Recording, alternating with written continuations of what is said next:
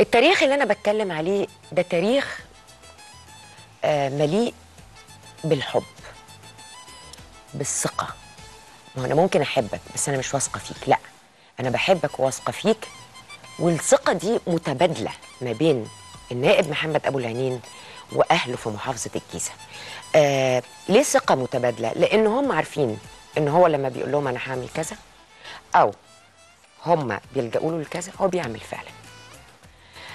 خليني إن أنا أقول بعيدا عن إنه رجل صناعة واقتصاد عايزة أنتقل أيضا إنه هذا الرجل عنده آه علاقات دولية كبيرة.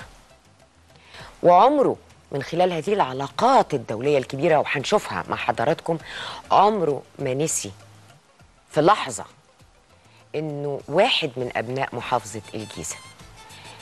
على قد علاقاته على قد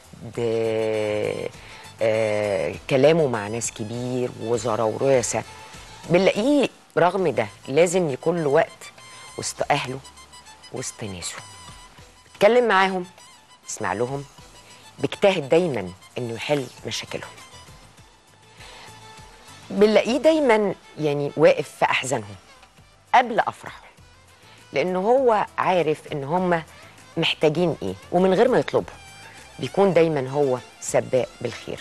وده يمكن سر من أسرار تمثيل النائب محمد أبو العلين لأهالي الجيزة في البرلمان في خمس دورات برلمانية.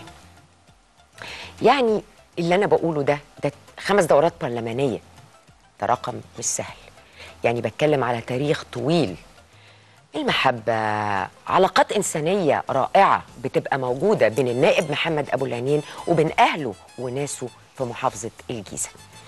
آه برضو أنا مش هقول كلام مرسل.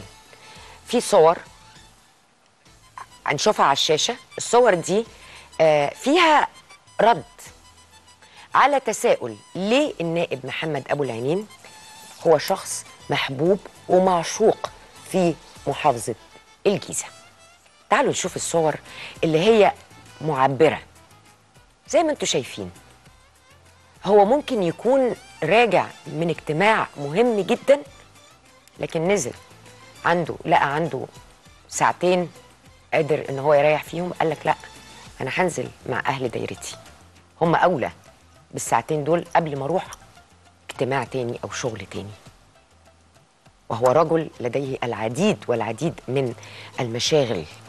لكن دوره داخل محافظته مع أبناء محافظته بيجاملهم في أفراح في أحزان آه بيقعد معاهم بيسمع همومهم بيسمع مشاكلهم آه بيشوف هم عايزين إيه بيشوف آه أفكارهم إيه.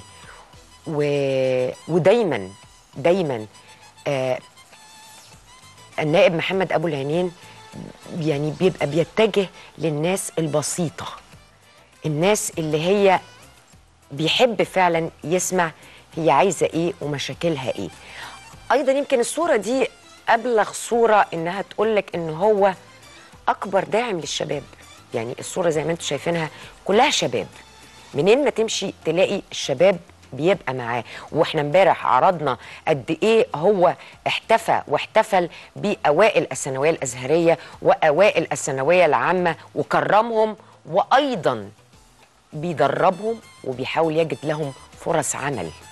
لأنه هو عارف أهمية الشباب بالنسبة للوطن مش بس الجيزة لأنه هو الوطن همه الأول والأخير وليس فقط أبناء دايرته في الجيزة. يمكن الدايرة الصغيرة اللي حواليه هي دايرته الجيزة والدقي والعجوزة لكن الدايرة الأهم بالنسبة له هي مصر. وده بقى هيخليني أنتقل على موقف من المواقف التاريخية للنائب محمد أبو العنين. آه طبعا آه قبل ما أكلمكم على آه الموقف التاريخي عايزه أقول إنه الصور اللي أنتوا شايفينها دي ممكن كلها تكون في فترة آه الشارع ما كانش آمن قوي وإن الناس ما كانتش بتحب تنزل قوي هو كتير ما كانوش بيحبوا ينزلوا بس هو ما كانش بيفرق معاه قوي الحكاية دي لأن هو كان بيحب يبقى وسط الناس. آه نقول التجمعات يقول لك إيه المشكلة؟ أنا عارف إن الناس بتحبني. عارف إن الناس آه أنا مش قلقان منهم دول أهلي دول ناسي دول حبايبي. آه عمرهم ما هيأذوني. هيأذوني ليه؟ هو في حد يأذي حد من أهله؟ لا أنا عارف أهل الجيزة كويس عارفهم كويس. ف يعني طيب اتفضلوا. يعني اتفضلوا شوفوا الصورة دي يعني على فكرة الصورة دي تلقائية جدا.